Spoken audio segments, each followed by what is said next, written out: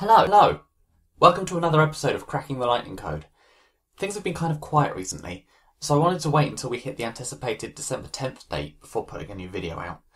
We have just a few things to talk about. Firstly, of course, Wave 8 has been officially unveiled.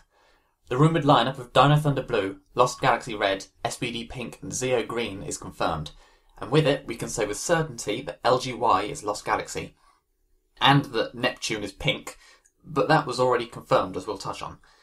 Also, nice to see that Leo comes with his Quasar launcher, mainly because that saved me from having to get him. The lack of an extended Quasar saber has me concerned though. If this figure sets the standard for the other Lost Galaxy figures going forward, that's not a good omen for them. Speaking of which, this lineup also makes it clear that we're getting Lost Galaxy Blue, LGY Earth, in Wave 9. We can put him along with SPD Green as figures we can be certain are coming in that wave. Still nothing to give us any idea if Zetanga is Zeo Yellow, but it continues to look likely. As for Mars Adam, well, things have gotten interesting there in the past few weeks. Firstly, Toku Topics reported on Lightning Collection listings on Previews World, with the product numbers for Zetanga, LGY Earth, and Rad Mercury, along with BLM Mars in Space Black.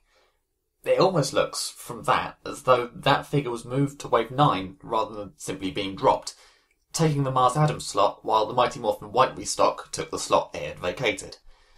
With news around that time of the Walmart BLM Mars listing and finally unlocking, it certainly looks like In Space Black could be in Wave 9. Though, considering all the confusion about Wave 6's lineup earlier this year, with Mighty Morphin Green replacing both In Space Yellow and Goldar at points, I'd still not take it as 100% certain.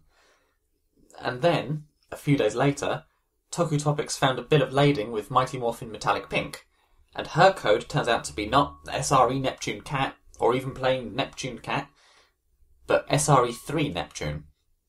The only thing that makes the code for this figure distinct from a standard Mighty Morphin Pink, from what the Wave 2 figure's codename would be in the new system, is a 3 being added to the season code. Now, hey, this sort of indicates those people way back when who thought Zuth could mean Mighty Morphin Season 2. The Hasbro clearly has variations in mind for the different seasons. It's just a matter of adding 3 or theoretically two, at the end of the Mighty Morphin SRE code. This figure is a Season 3 variant on Mighty Morphin Pink, SRE Neptune, so it's SRE3 Neptune.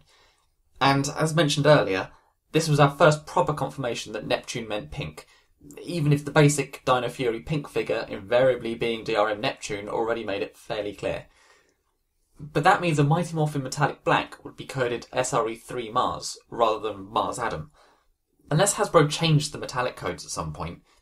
After all, it's looking ever more likely that the Wave 7, 8, and 9 listings found earlier this year weren't finalised, what with BLM Mars rocketing from one spot to another. We should expect them to be consistent. So, what does that mean for Mars Adam?